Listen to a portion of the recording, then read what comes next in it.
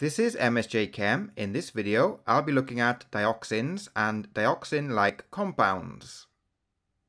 Dioxins and dioxin-like compounds are highly toxic, persistent organic pollutants. Here we can see the structures of dioxins and dioxin-like compounds that can be found in section 31 of the data booklet. On the left, we have the general formula of a polychlorinated biphenyl, or PCB. Here we have the structure of 1,4-dioxin, and on the right we have the general formula for a polychlorinated dibenzofuran, or PCDF. Bottom right we have the general formula for a polychlorinated dibenzo-p-dioxin, or a PCDD. And finally, on the left, we have a specific example of a PCDD, which is 2378 tetrachloro-dibenzodioxin. Next we look at each of the structures in more detail. We'll start by looking at dioxins. Dioxins contain unsaturated six-member heterocyclic rings with two oxygen atoms, usually in positions 1 and 4. On the left, we have the structure of 1,4-dioxin.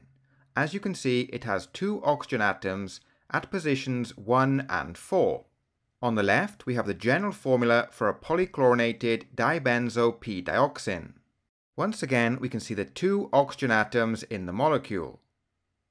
And here we can see a specific example of a PCDD, which is 2378 tetrachloro-dibenzodioxin. As well as having the two oxygen atoms, we also have four chlorine atoms bonded to two benzene rings. Next we look at polychlorinated dibenzofurans, or PCDFs. PCDFs have structures and chemical properties similar to polychlorinated dibenzodioxins. PCDFs consist of two benzene rings fused to a central furan ring. And finally, we look at polychlorinated biphenyls, or PCBs. PCBs have between 1 and 10 chlorine atoms attached to two connected benzene rings. And here we have the general formula for a PCB. Dioxins are considered highly toxic and can cause reproductive and development problems, damage the immune system, interfere with hormones, and are also carcinogenic. They are produced during the incomplete combustion of plastics, particularly PVC. PCBs enter the environment through fires or leaks from transformers, or from PCB containing products in landfills or during incineration. Dioxins and dioxin-like compounds are classified as persistent organic pollutants. Persistent organic pollutants are organic compounds that do not decompose in the environment. Due to their solubility in lipids, persistent organic pollutants bioaccumulate in living organisms.